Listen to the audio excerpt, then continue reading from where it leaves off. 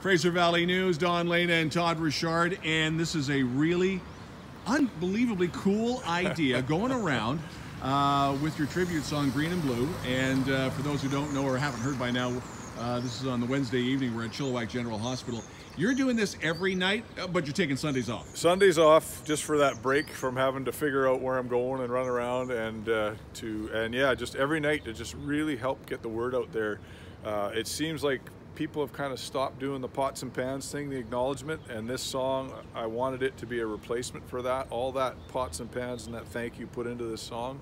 So I just want the awareness. I want more frontline workers to really hear this song and know that it's for them to say thank you.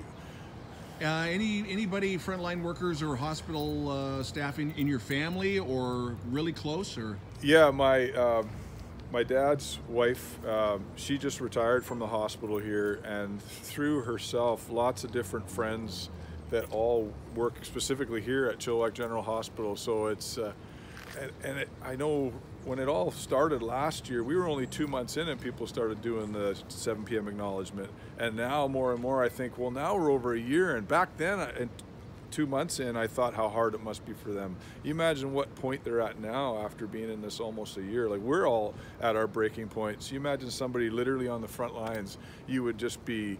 So uh, a fellow that helped us make the video for this, uh, Mr. Lance Bennywith, he talked to us a couple months ago, and he's because he owns a care home, and he said, Todd, our workers are literally at their breaking point. So yeah, I know it gets. Yeah, Sorry, it, no, I, we gets, hear you. I hear you. It's, I just uh, I feel their pain, too. right? You yeah. Just, yeah.